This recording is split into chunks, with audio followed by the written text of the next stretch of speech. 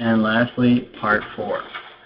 Now that you've got your several tracks lined up and cut and stuck in here the way you want, Pumpkin is going to put his foot in the glass. And then you are going to see all of your little files here. You're going to think they sound great, and you're going to be right.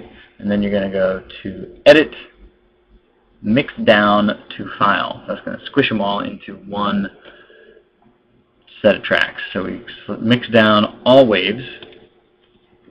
Takes a moment, well, depending on how long, how much you've got to do. And then you see mix down. That is the left and right tracks of your final file.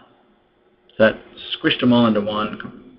And then last, the very last thing you can do is File, Save As, and you can call it whatever you want.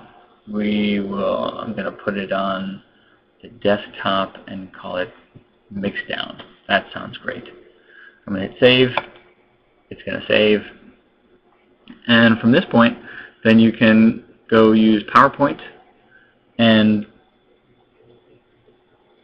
use PowerPoint as you normally would. You can insert pictures and you can insert this music file which will help you, which will be your background. And um, I hope that gets you started. That's been lovely. And now I'm going to take a nap before I go out to a party. Good night.